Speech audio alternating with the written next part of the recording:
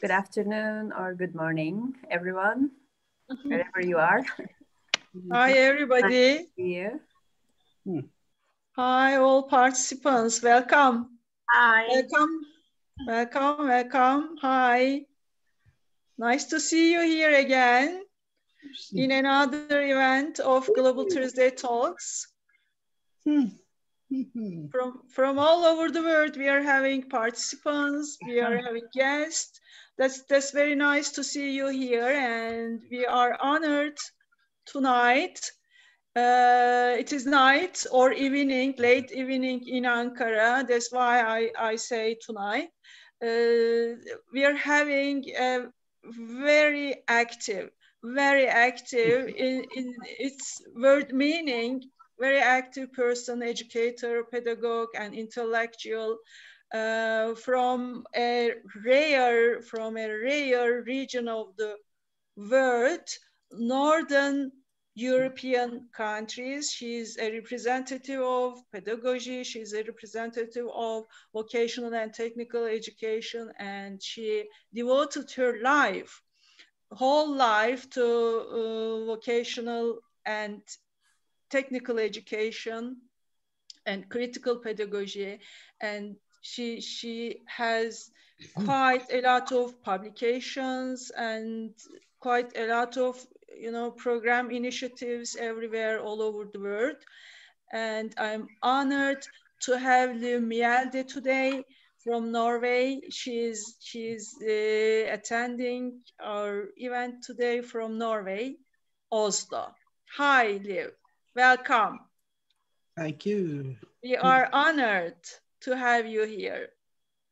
Okay, Eda, floor is yours. Hi, everyone. As ever, I'm going to talk about the flow and the overall organization, and then I'm going to introduce uh, Dr. Mızıkacı and uh, Dr. Mjelde. After that, we will start our interview. We will be using a PowerPoint, and it will be a question and answer um, talk, let's say. It will take around an hour. So uh, during the interview, please stay mute and uh, feel free to use the chat box, please, for your comments and questions. After the event, we just collect them and send them to our speakers. And after they reply, we will be happy to send the answers to you. So make sure you add your email address as well. If you feel um, if, if you if you wish, you can just send a private message to me as well on the chat box. Uh, today we will have a dialogue with uh, Dr. Mjelde, as Fatma says. Uh, now let me introduce Dr. Uh, Fatma Mızıkacı and our speaker, Dr. Mjelde. Uh, Dr. Mızıkacı specialized in curriculum and instruction, and uh, she is currently an associate professor at Ankara University, Turkey and uh, she has been recently hosting Global Thursday talks on education. And uh, our speaker, uh, Liv Mjelde, is professor in vocational pedagogy. She's a sociologist by training and specialist in sociology of education, especially studying the changing relations between vocational and general education from psychological, didactic, and sociological perspectives. One of her research fields is gender divisions, as they can be observed directly in vocational education, in male and female occupational fields, in relation to movements on the labor market and in family ideology. Uh, has published in several languages and has been the keynote speaker in many international conferences. And uh, evaluation of Leonardo da Vinci programs for the European Union Commission has been part of her work. And Dr. Mjelde has been the Norwegian project leader at Kyambogo University, Uganda, uh, between 2007 to 2011, building up a master degree in vocational pedagogy with students from Uganda and Southern Sudan. So uh, please help me welcoming Dr. Liv Mjelde. Mm -hmm. So floor is yours. Thank you very much. Uh, I want might be to say that I'm very impressed by you in Ankara. The women are really taking the initiative and doing the work that is behind this webinar. It's very impressive. Uh, I think that might be, I would start out uh, with showing you a cover slide. Uh, if you can do that, Eda. Um, I think that uh, number three is what I, I want to show you first. The, the mm-hmm. cover slide number three. Just a second, please. Yeah, yes, yes. We will. Yes, here you see, I will say a little bit of, uh, of colors in the rest I'm going to do. It's going to be very, a lot of text, you know, and here you see a picture. And this is actually a picture from uh, Uganda, from Kyambogo University in Uganda.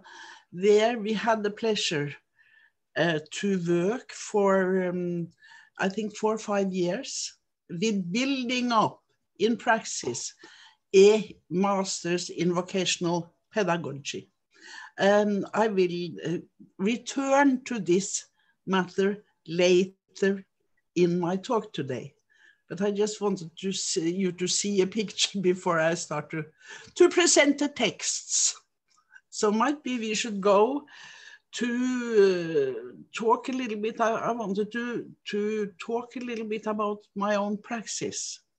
Um, and I will say that uh, I have uh, had a wonderful experience being 18 years um, in a huge vocational um, school in Norway the Sogn Vocational School, the Norway's mecca of trade and industry. That was the dream of the 50s. And I think that you, you could show, show what, what, the Minister of Education, the next uh, slide. The Labour Minister, yes, the next slide. The Labour Minister of Education said in 1952 that the, the, the goal was that practical schools must be brought into the public consciousness and placed where they belonged, side by side with general academic education. That was the goal after the Second World War of the labor parties. It might be in other places in Europe, but this big um, vocational school was built, uh, built up to, to uh, yes, that you should be more, um, you should give esteem to the work of hand. Um, next, uh, um, yeah. It had actually 3,500 sc school uh, students in the school there every year. It had a combination of work, of learning in vocational schools and learning in apprenticeship in working life. Most students were between 16 and 20 years old, um, and they ended up after these four years with a skilled worker craft certificate. But this, um, uh, this uh, you can say, this um, uh, situation we had there was going to has changed a lot uh, till today. We live in many ways in in a very different um, situation, but I will return to that later. Can you show the next slide, please? Yes, I have in my, I have written a book called The Magical Properties of Workshop Learning. And here in there, that book, I described the workshop as a place where you learn together and you cooperate. That could be in a hospital ward, it could be in a kitchen, it could be, in, uh, for me, in vocational pedagogy, when you are, are leading towards masters and doctorates in vocational pedagogy. But in the old days, you had the social division between workshop on the one side, and then you had something called vocational theory connected to the um, to the classroom, uh, not to the workshop, and then you had general theory absolutely um, in classrooms away from vocational theory. Vocational theory is, of course, full of general theory, but it was separate and but very often could be in classrooms or could be in workshops. Okay, that's, um, I have said that workshop uh, hands-on learning was the center of learning. Uh, and uh, you can say that you see very well the contradictions between different ways of learning in this, uh, in this um, slide, which I'm showing here. Um, one thing was that the, the vocational teachers had a double praxis background. They had been trained in their trade through vocational schools and apprenticeship on the manual labor market. Then they trained as teachers in vocational pedagogy in the university college. And I also ended up teaching in that university college in Oslo. Um, oi, oi, hello, yeah. Um, and uh, there I was teaching them on the masters and on the doctor and, and doctoral thesis from other parts of the world too. But I will return to that matter a little bit later. You can say that one of my main findings in my research in the vocational sector over the past decades, it's uh, many, many years, is that students and apprentices um, in the vocational trades prospered and learned when they were in activity in the workshops, in the vocational school, or as apprentices in the workplaces, while at the same time they found no meaning or relevance to the many hours spent in classrooms for vocational education. They dropped out. Um, in many places today, all over, we have seen an, an enormous exp expansion of the educational system. So today in Norway, uh, young people are expected to complete 13 years of formal schooling before they entering uh, they are entering the labor market and or institutions of higher education. 50% of the cohort enter various academic fields and 50% technical vocational fields.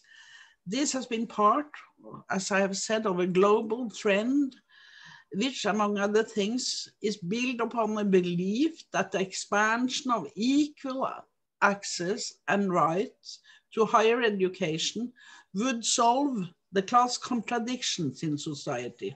Equality through education and social justice has been the slogans. Might be not so much today, but it was very strong after the Second World War. Um, I have, I'm saying that research into these realities has actually uh, shown how complex these questions are. Norway's upper secondary schooling is marked by a de decrease in workshop instruction and an increase in more abstract uh, general curriculum. Learning difficulties and dropout rates have been substantial both in secondary schools and in higher education during the past decades. This, I think, is not only in Norway, I think we know it from many places in the world. Um, I um, think that you can change the, the yes, the next.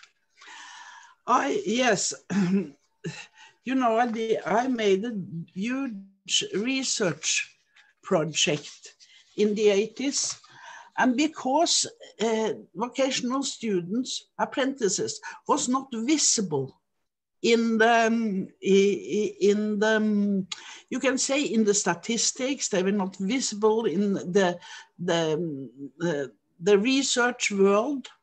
I actually interviewed 1,617 apprentices in five different country, uh, uh, cities in Norway.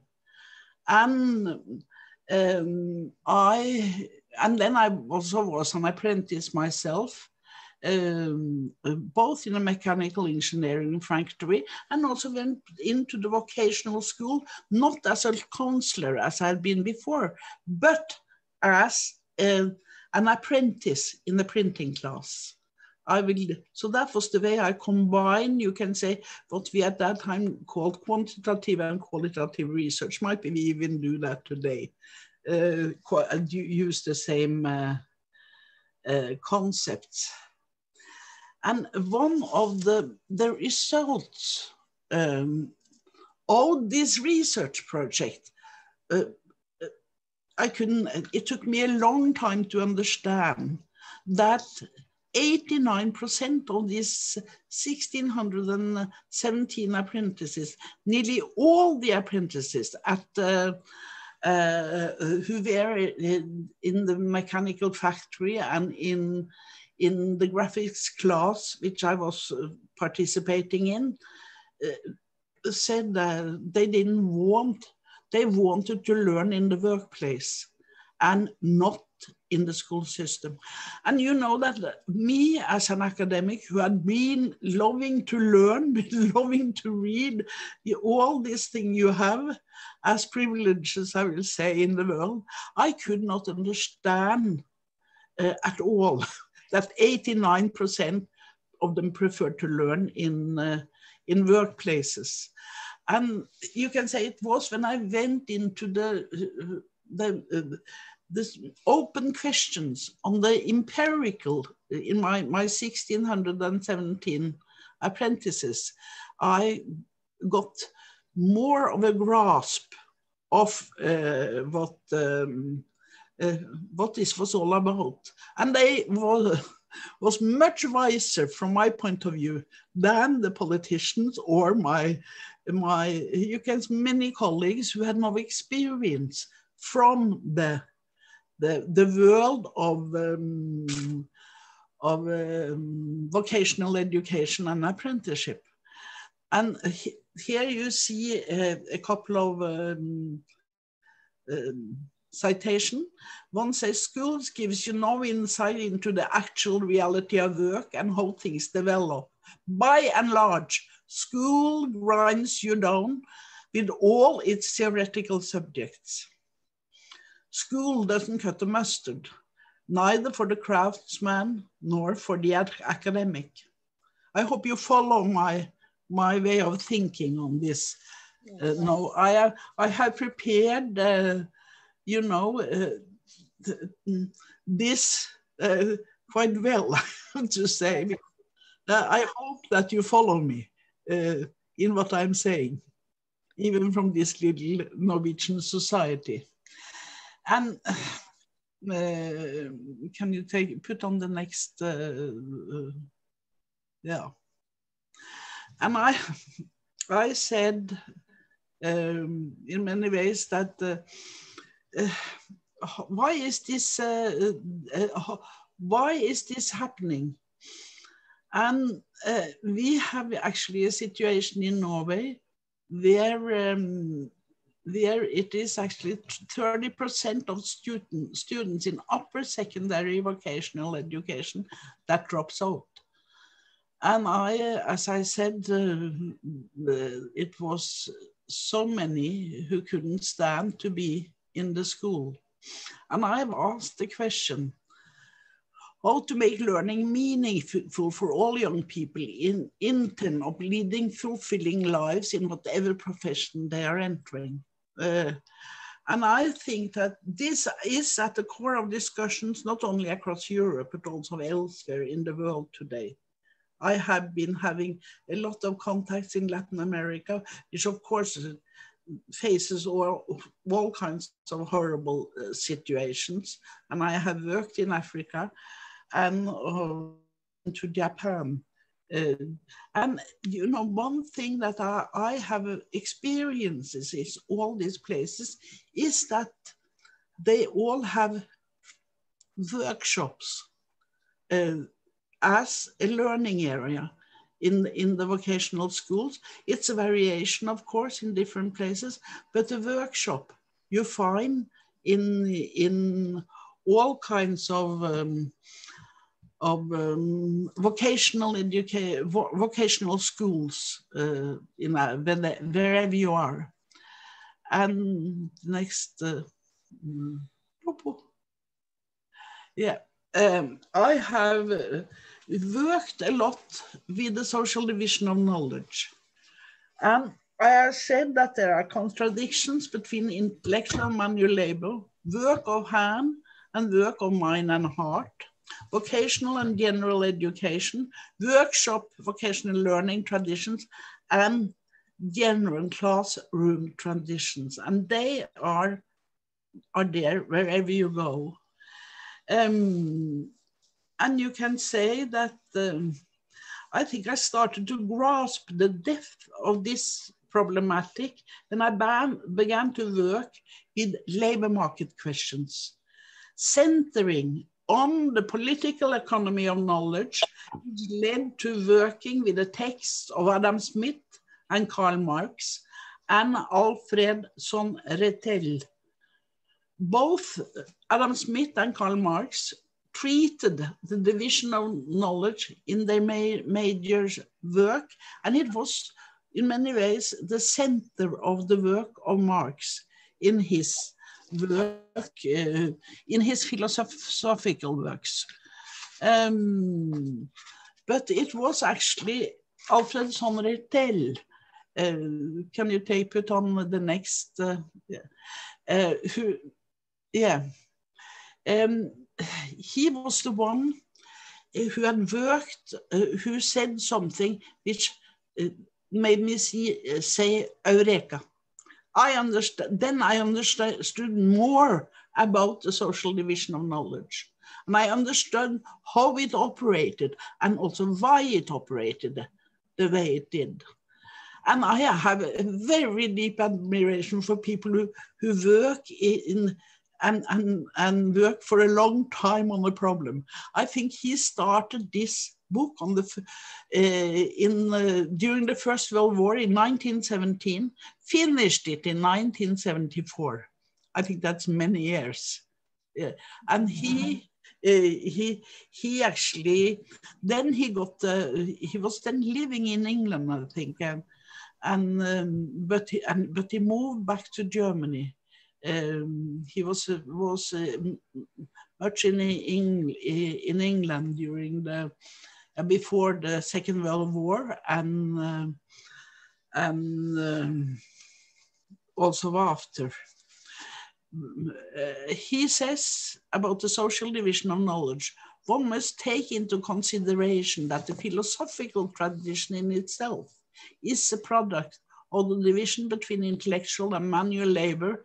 And since its inception, starting with Pythagoras, Herodotus, and Parmenides, it has been safeguarded by intellectuals, for intellectuals, in a, uh, inaccessible to manual labor. Um, I could put on the next uh, PowerPoint. Uh, I think this is uh, highly visible in uh, in um, uh, the the development of the educational theory and what I have called the general vocational divide.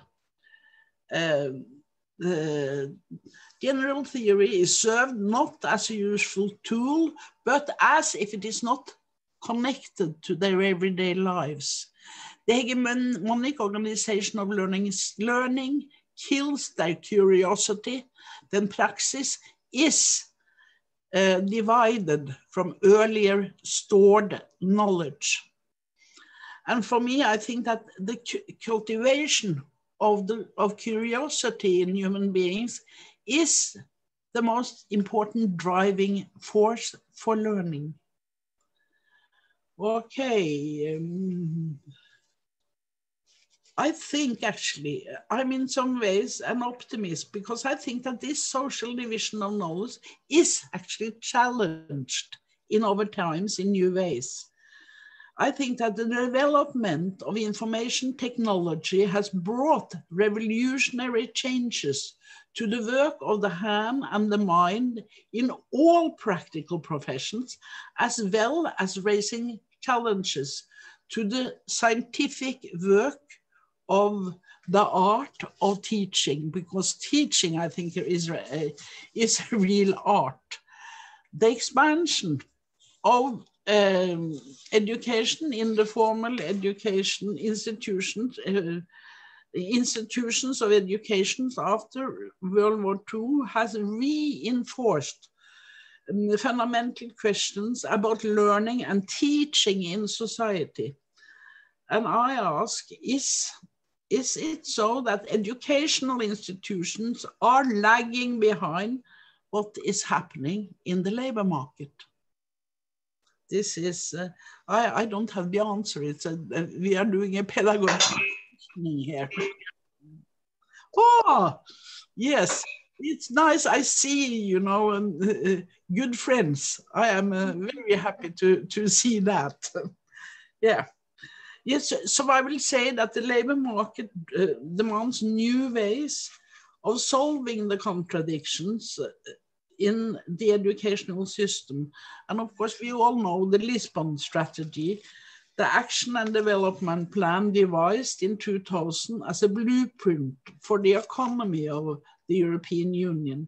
Its aim was to make the European Union the most competitive and knowledge-based uh, economy in the world, is, is capable of a sustainable economic growth with more and better jobs and greater social cohesion. And you know, uh, uh we have no we, we operate with the concepts, the knowledge society, the learning economy.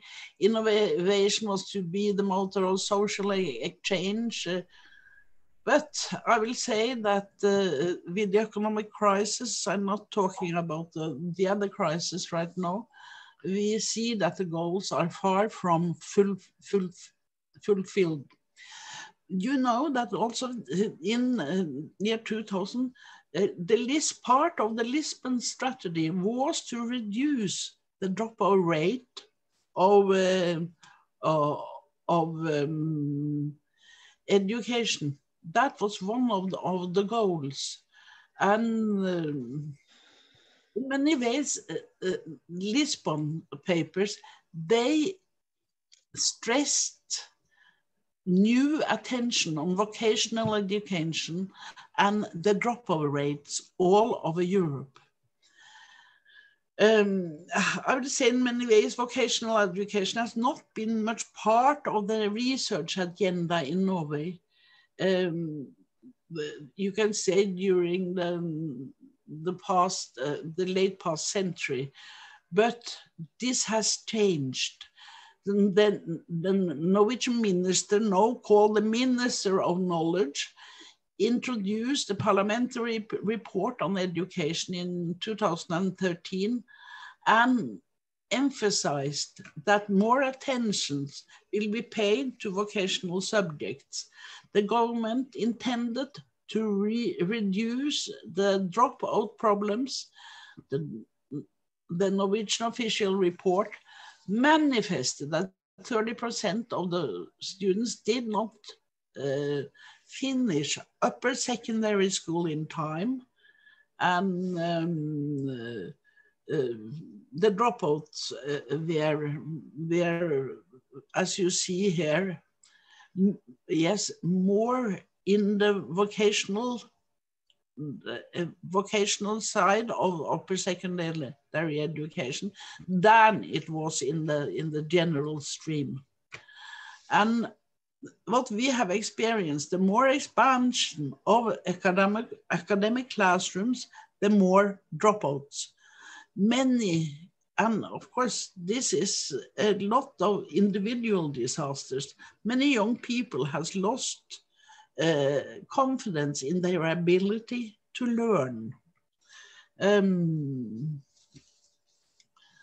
and I will say that right now, research money has been, yes, I say for the past 15 years, has been channeled towards educational matters, and vocational education is central in this field. We have seen a greater interest in what is now called evidence-based research and new attention uh, is actually, people are asking, is 13 years of schooling remote from working cl class, is uh, from working life, um, could we could we question this? And um, uh, you can say that it, they have also become aware of how much it costs with these dropouts. Uh, it's it's question of million of millions of dollars for for each cohort. I think maybe I should give the floor to you. Yes, thank you. Thank you so much. This has been a very good introduction to what we will now. At least uh, I uh, want to ask with my questions to go deeper into this uh, separation of knowledge, you know, the, the social division of knowledge. And as a result, in educational, you know, context, uh, unfortunately, or maybe I don't know, not unfortunately, we have a separation of learning in workshop and learning in classroom. Liv, what, what is this difference? Is, is there a difference between these uh, learning types, learning uh, styles in workshop or in uh, classrooms? And as, as I understand, the division between these two is rooted back to uh, social division of knowledge. Can you, can you go deeper into this a, a little bit, please? I will try. Thank you so much for the question. Um, I will say that, um, yeah, I will, first I would like to say that uh, um, my first, uh, yes, my first publication in English had a title, From Hand to Mind. It was published in a publication called uh, Critical Pedagogy and um, cultural power, and the poor forward is very connected to to the whole discussion we have in this webinar. Uh, uh, we have heard Henry Giroux, and of course, we are, have very many of us uh, had a deep uh, base into the work of the great um, Paulo Freire. Um, I was then, when I was working on my doctoral uh, research, I was a visiting professor at the Ontario Institute for Studies in Education in Toronto, Canada. And I worked together with some excellent scholars, among them the editor of the book, Professor uh, David Livingstone. And as a small anecdote, I would like to, to to connect it a bit to me being here today.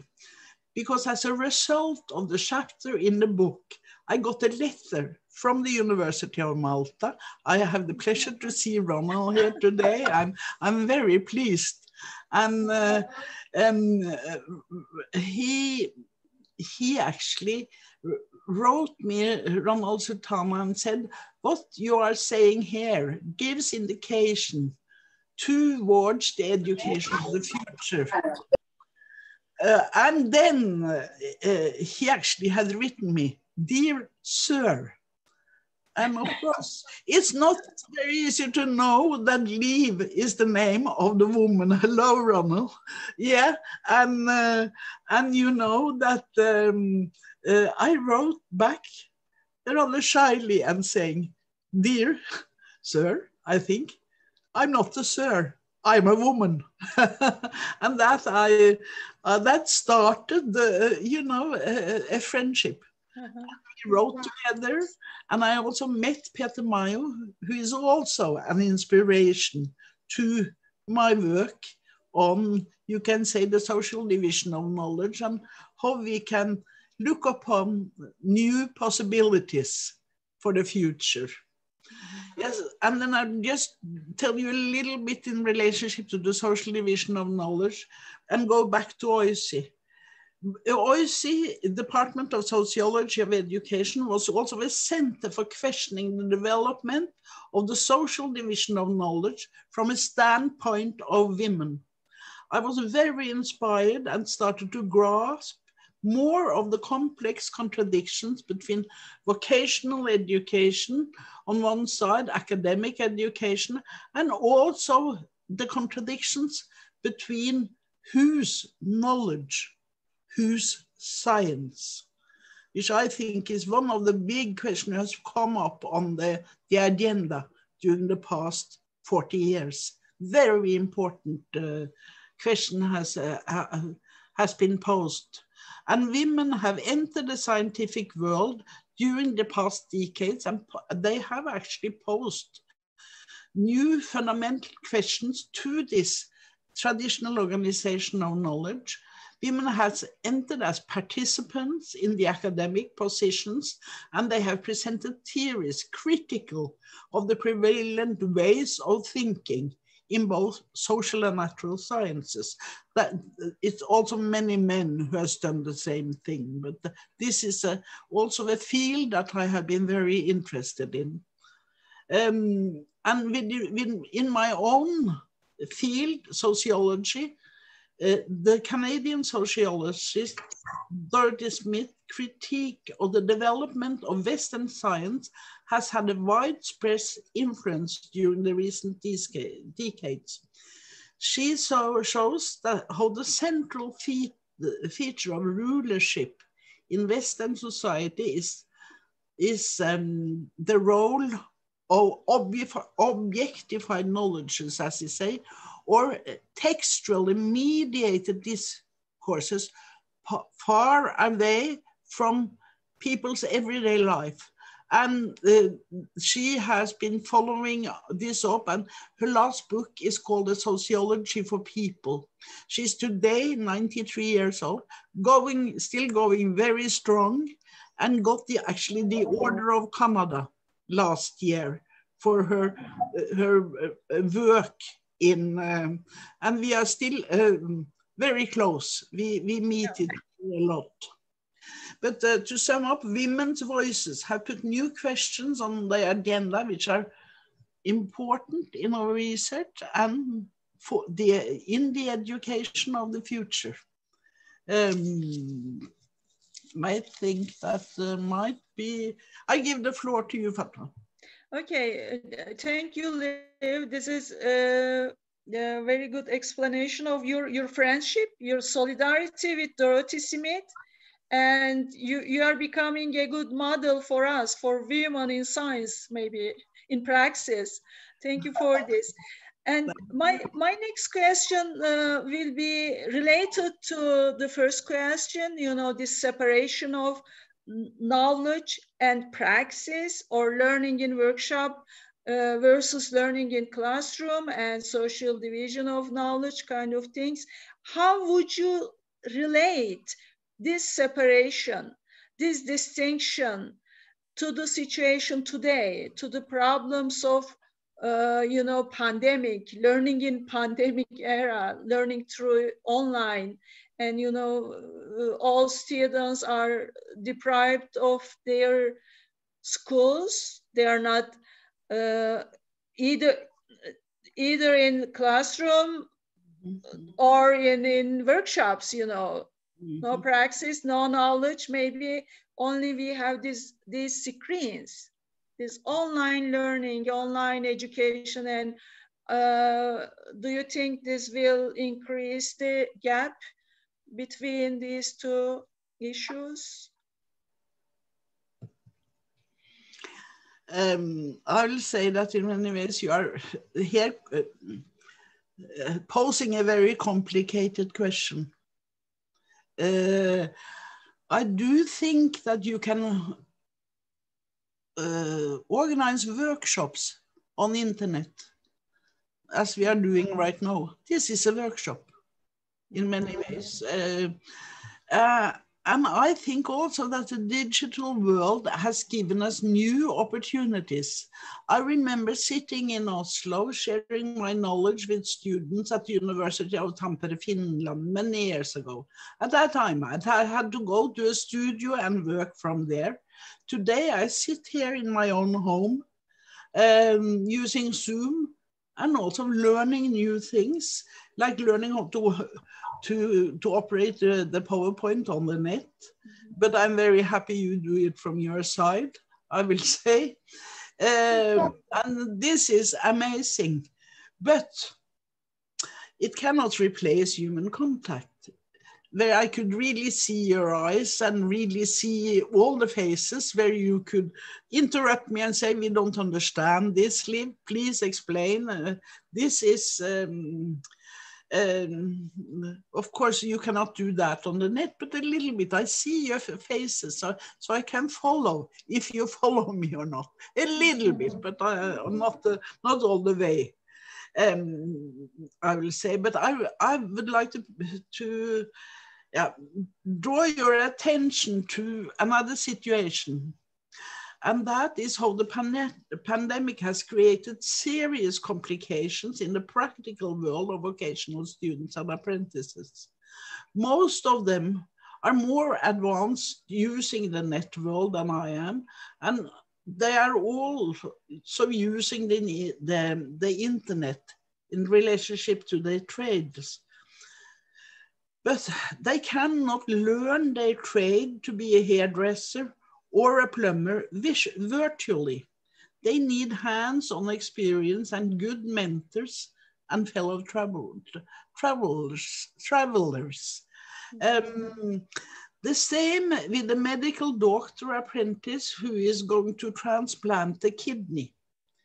He or she needs hands-on work, needs an internship or hands-on learning with very, very good uh, me uh, mentors, uh, that they have good mentors to guide them. I uh, uh, have, um, through my practice with teaching master students to write their thesis, I've been um, arguing that learning by doing and through cooperation with other students may, may, may go on uh, also in this uh, situation of the pa pandemic. Of course, it creates challenges, but it might, the, the situation we are in might also create new solutions and um, on how to, to uh, practice virtual learning in many fields you i think that the, you can also practice you can say mentoring for example you can really practice mentoring on the, on the net mm. yes uh, might be Fatma you will uh, yeah. You made some good questions for me, and I have been inspired by your questions uh, to do uh, to to follow up your questions. Yeah. yeah we, we just try to reflect, you know, our participants' common common problems that we are having now, because this is this is the very big question now. What will happen to education, you know?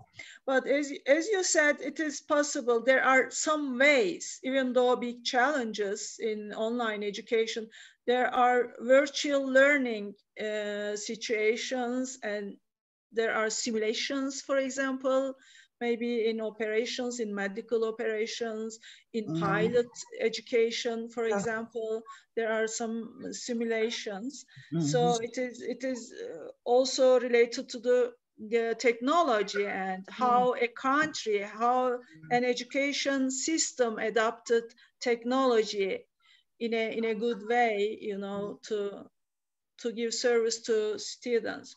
Okay, thank you. Let's let's continue with another question. Now, can you uh, explain some uh, implementations in Scandinavian region, you know, Scandinavian countries about the adult education, adults taking place in, in, for example, vocational and technical education? Is it a common practice? Is it a public education uh, practice? Mm -hmm. And how, how, how does it work? Yeah, you know that uh, uh, in many ways, eh, I, I, I have in some of my earlier works, I have argued that vocational education and adult education are two sides of the same coin. That has been one point of departure, which I have uh, talked about before. We also have something called folk high schools in, in Scandinavia, which is also hands-on learning. Learning in cooperation has been, been the main features. Uh, I would say that in many ways, adult education has not been given much attention in uh, the research world in Norway during the last decades. Uh, adult education courses have often been tied to unemployment. Unemployed workers have, have been offered adult education courses when they have lost their jobs. Mm-hmm. Um, research shows, however, that unemployed, unemployed men um, prefer a job and not adult education courses. Um, women uh, might have been more open to adult education courses because the labor market has changed enormously. The health and service sector has expanded. Women's work in the home is moved uh, to the labor market, uh, market. So they have got new possibilities for working, uh, uh which very often is related to, to that uh, adult education. They take a course and they can get uh, a semi-skilled work mm-hmm. in uh, in an old age home or yes on with health and um, I will say that of course we have had the situation that reskilling of workers has is part of adult education and ro royal commissions and proposals in parliament or, on skills and competence have address this problematic again and again.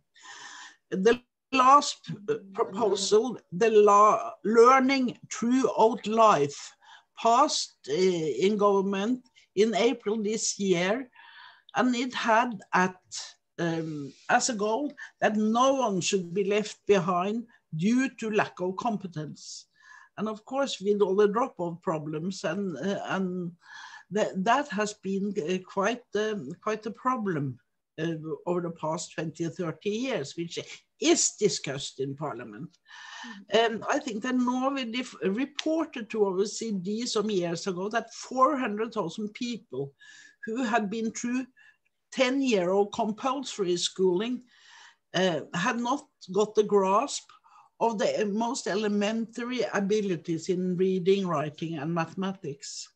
This is why we need to rethink for another educational system, but then it is very many contradictions between, you can say, the labor movement on the other side, or the conservatives on the other, on the other side, on this question, which I cannot go into today. This is, uh, uh, this would be take many hours to discuss, but I, I just mentioned it. And we, as you know, 400,000 people, and we do not have more than 5 million people in this little country.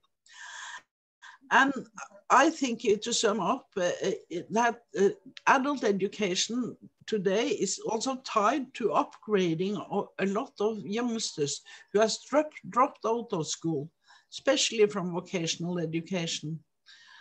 But uh, of course, I'm, i know that the, the complexity of hands-on learning and classroom, long, classroom learning are very present in adult education today with the same contradictions you can, uh, you can ob observe in vocational education.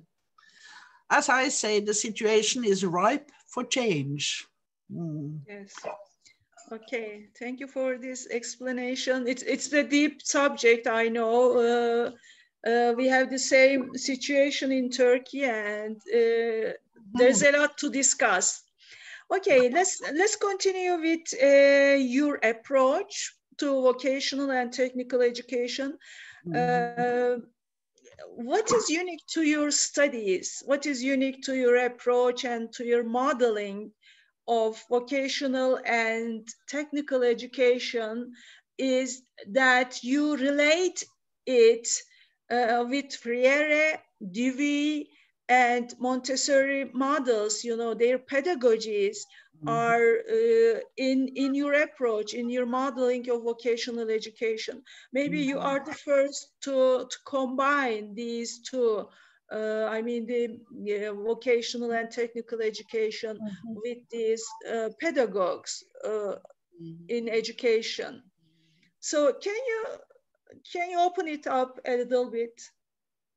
Yeah, yes. Uh, you know, due to this crisis, uh, I I think it really in, uh, intensifies the need for change, and you know that the, the new concepts which eh, you know that I've been part of developing and I'm not sure how happy I am about the concepts, but uh, I don't know uh, uh, anything better. And they have been quite, quite uh, well received when we, with colleagues in Africa.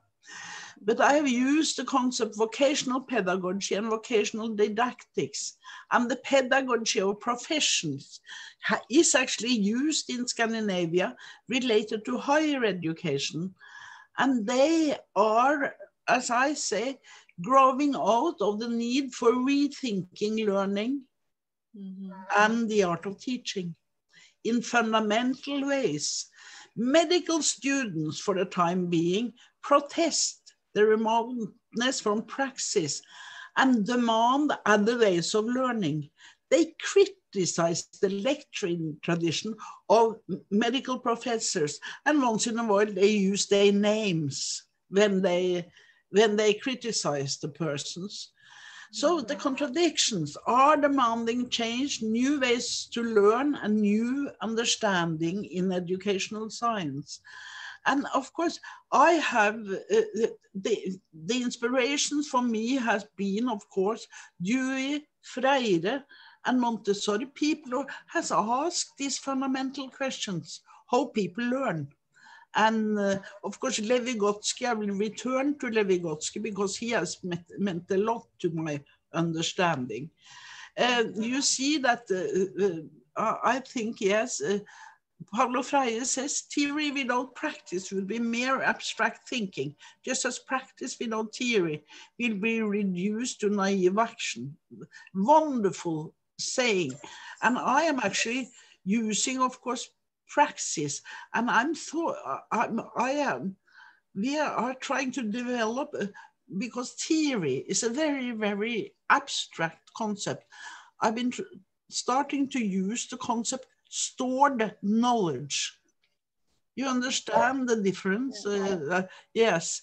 Um, and one thing that, of course, you all know, uh, the banking concept of education for um, from Freire, and of course, uh, the savings account to be filled with uh, information, the, the ob objectifying um, ways of, of, of serving, you can say, learning. I think that the uh, uh, Freire suggested a, a Socratic approach, a pedagogy of questioning, and it was actually a very, very good colleague in in Spain who sent me, you know, the, the this uh, um, this paper, the, this paper who's, who's an interview with the wife of Freire after he dies. And I thought that was very, very mm, rewarding. And that is Vicente Palop, and I see that he's here today too. That's very nice. Thank you. Yes. Um, and then uh, I think that, of course, Paulo Freire, Dewey, um, you, you can say that uh, uh, his uh, next, you can put on and, the... Yeah, and also Vygotsky. I, am returning yeah. to Vygotsky, can I? John Dewey, learning by doing. Uh, John Dewey, uh, mm -hmm. of course, is, uh, no, this is Montessori. Do we, uh, are we starting to lose time? Are we? Oh, okay, we, we, are we are we are fine with timing. Okay, good, good. Then I then and you are not too bored. I hope any of you. I hope no, you're it's, okay. It's, it's, going so well. Is it? Thank you and you know, yes, we, we, we John Dewey, of course, learning by doing is a well-known concept from his uh, laboratory school.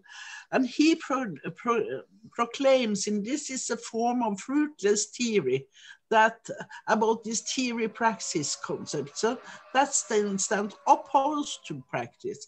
Real scientific theory is located within the bounds of praxis and functions as the impetus for, the for expansion. It provides di directions towards new possibilities, and that's what we need to think about new possibilities. Okay, um, I think that I want to mention just uh, um, Maria Montessori. Uh, okay, very shortly, maybe, yeah. Yeah, she is actually, um, you know, that she was a woman a pioneer both in the medical profession and in revolutionary uh, revolutionary in pedagogy. She was the first woman to be allowed into the study of medicine in Italy in 1896, and she's world uh, famous as a philosopher and practitioner in educational science.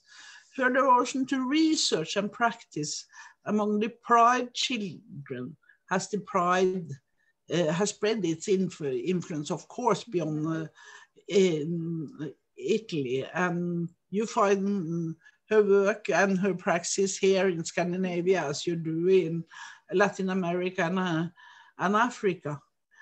And she has been uh, uh, a mentor in many ways for many educational scientists. She had a strong belief in everybody's ability to learn, and this is important that you learn from praxis to, from, from birth to, to grave, I think, and was deeply, deeply concerned about the teacher's ability to adjust and find, you can say, the, the, where the student are and how to develop to, uh, knowledge in together with students in themselves. A teacher actually should be a guide and a mentor. Yes. Um, and you can say that uh, uh, the next, uh, we, are, we are getting a little bit closer to, yeah, the next, okay. Yeah. And one person who has, uh, who has actually inspired me is labor market theory, as I've said. And this book of Herbert Applebaum um, also got me to, to get the foundation for uh, continuing to work uh, when you work in, in doing mentoring for master and doctoral thesis, that you can use the ideas of learning from stored knowledge through praxis and cooperation with other students. And he, he says, even in the realm of pure ideas, whether it be through the activity of writing or of teaching, one learns best when one is uh, in activity. Uh, in activity. And you ask me, yeah, should we? Okay, let, let, let's okay. Let's let's continue with my last question. Maybe actually you mentioned about uh, this praxis uh, in your presentation in the first part, uh, but uh, please let me call this practice, your, your initiation in Africa, in Uganda, praxis of praxis, okay? This is, this is a model, you initiated a master's program in vocational and technical education, uh, and, the, and the philosophy of the of the master program, this master's program is uh, quite different from the existing ones, right? It is, it is a result of a good cooperation, first of all. It's an international uh, cooperative work. It is, as I said before, a praxis of praxis. And it is critical pedagogy based and vocational and technical education based.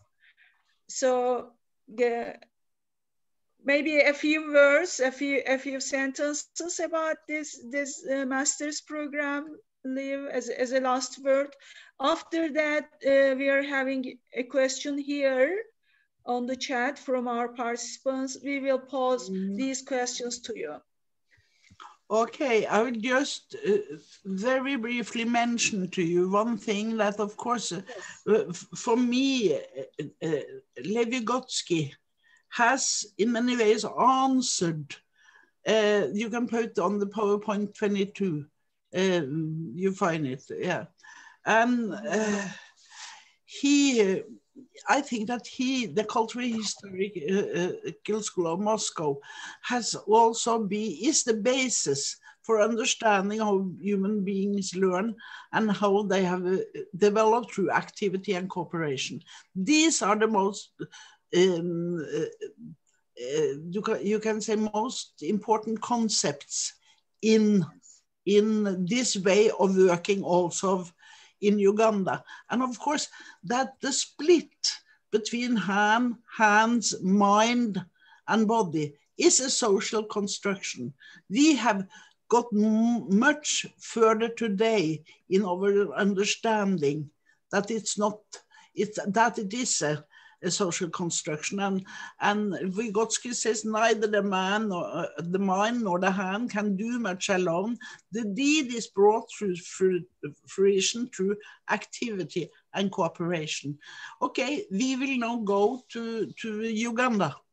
Um, uh, I, I have uh, uh, yes, another thing I've just mentioned is that, of course, the work of Paulo Freire and Levi goes like hand in glove. They, you understand what I mean?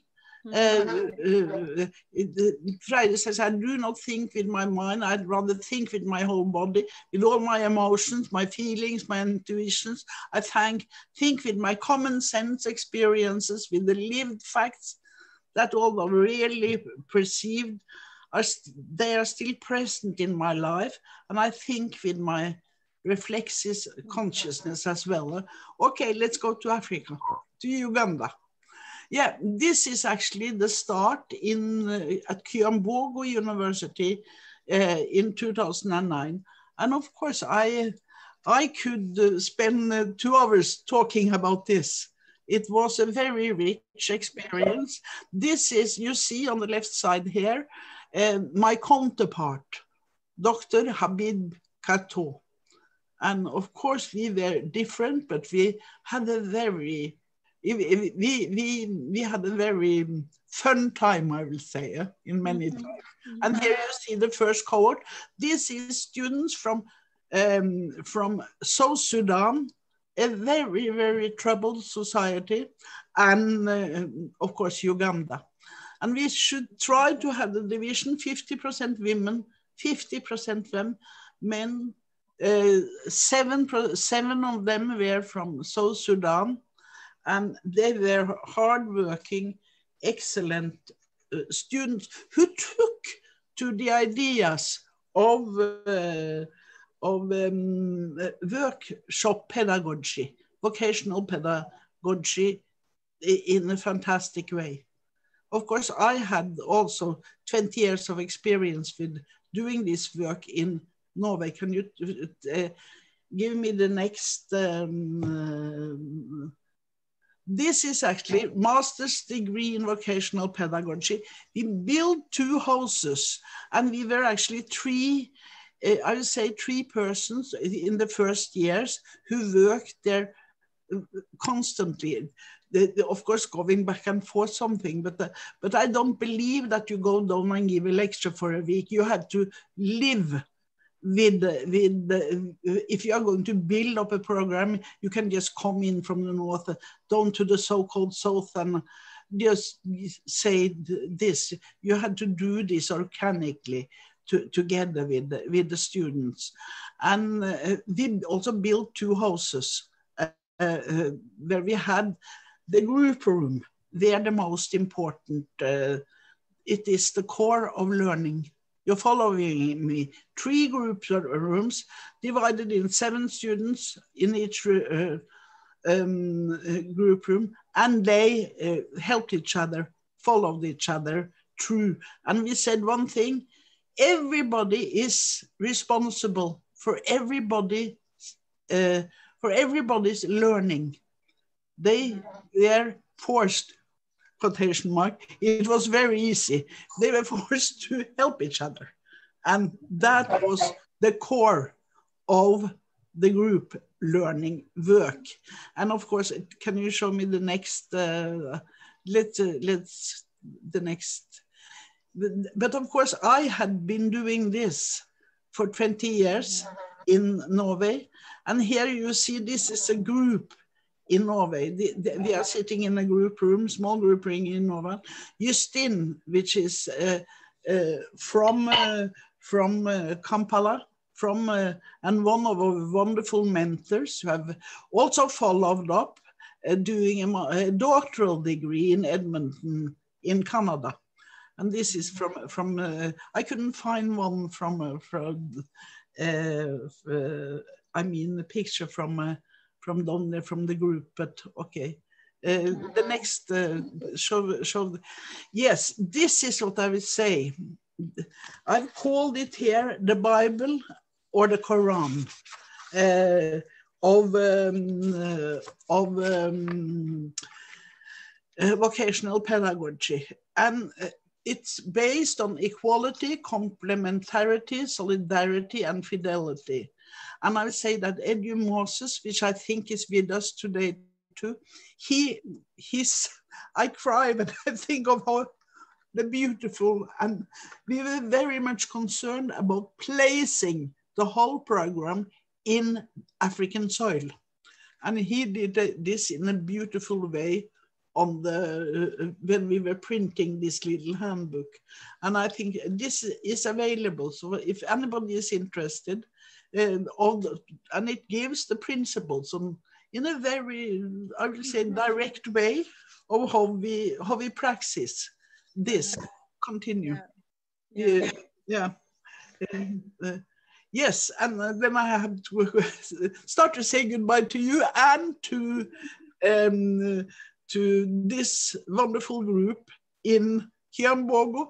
We, but we are still in contact, and we were. Uh, back giving a workshop there a couple of years ago. And this is my next, uh, next um, uh, counterpart. Uh, that was William Arpeggio.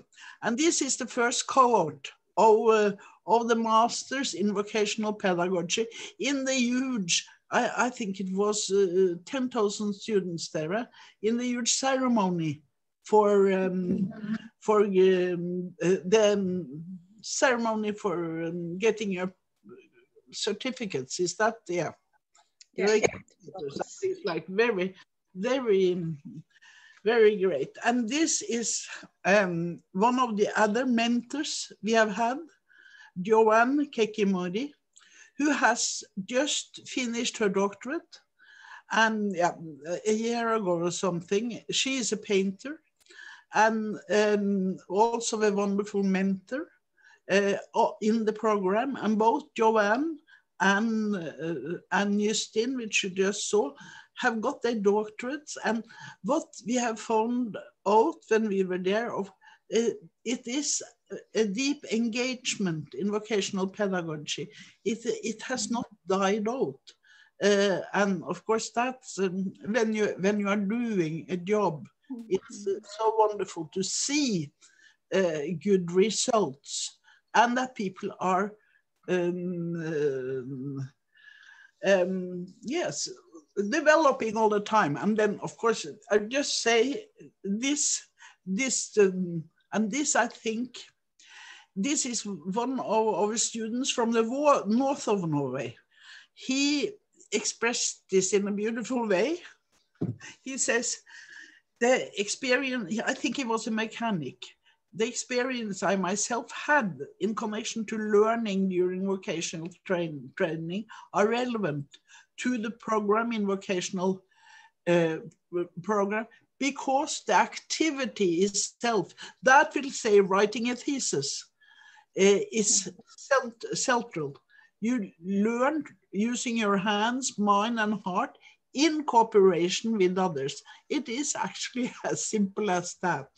But uh, we also have resistance to this way of thinking, but uh, it, it is possible to, to promote it in the academic world.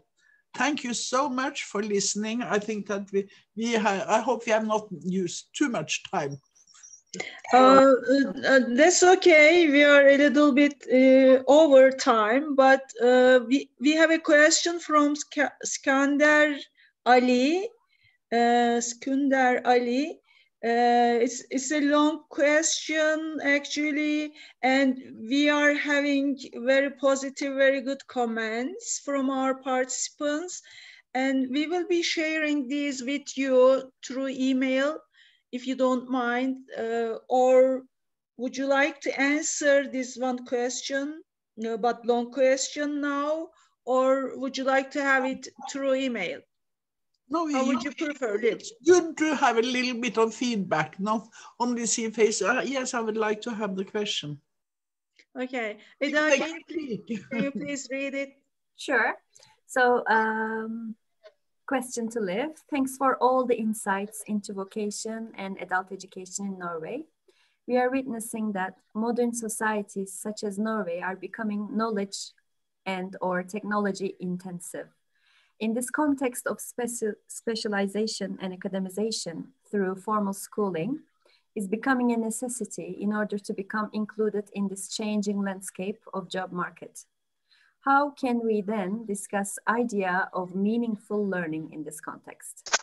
Can we think that old idea of meaningfulness as ex exemplified with workshop tradition still be valid in the context of specialized societies? Thank you for the question. Mm -hmm. Thank you. Uh, it is a, a, complex and wide question. And but uh, it is one thing that I, I, I think I said. I think that the, the labor market is far ahead of what is happening in the educational system.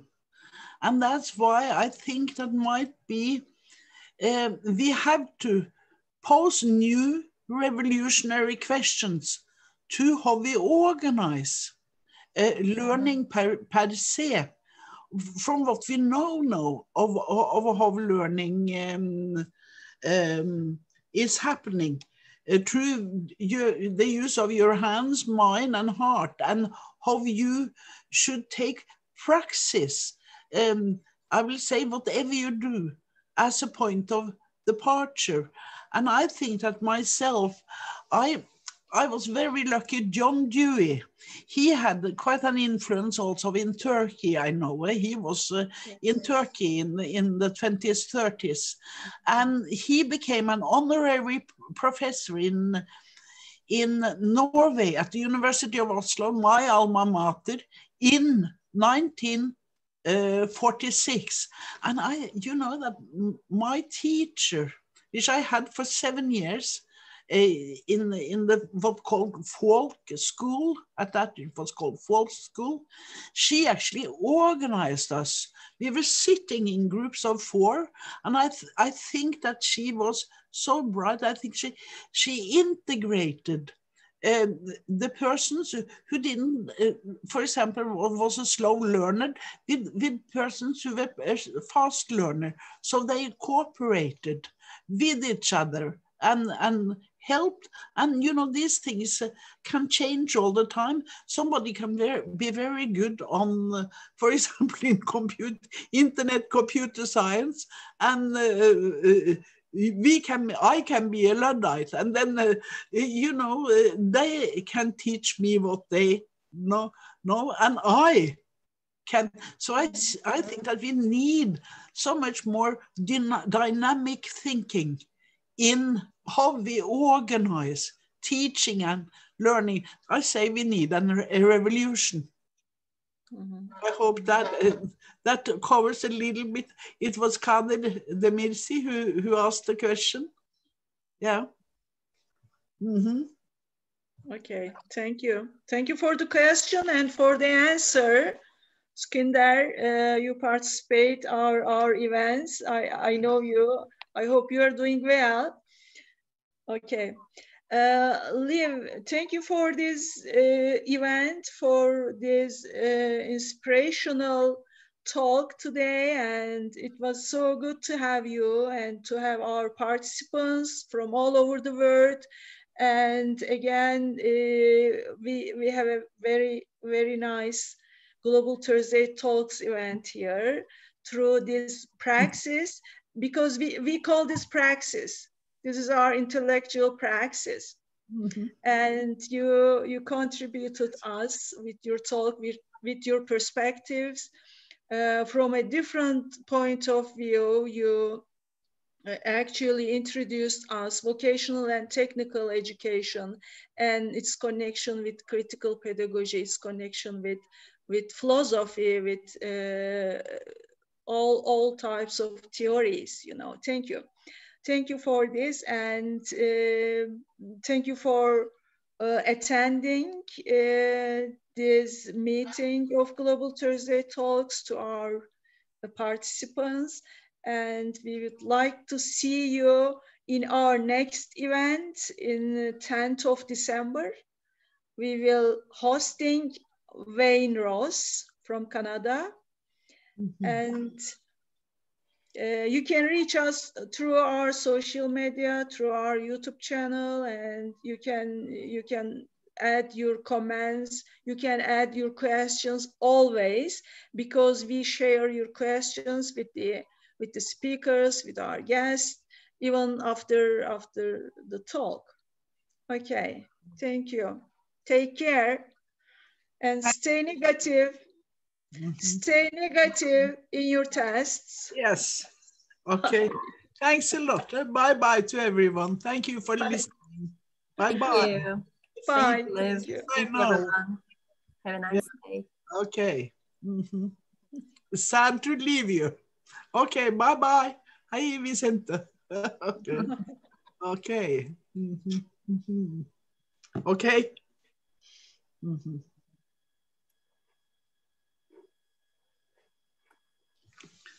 You close it, don't you? Yes, I'm going to close it. I'm going to save the chat. Actually, okay. people were writing comments. I was uh, I was waiting for them. Okay. It was amazing, Liv. Thank you very much. I hope so. Yeah. I am. I'm pleased to see you all. Yeah. Yeah.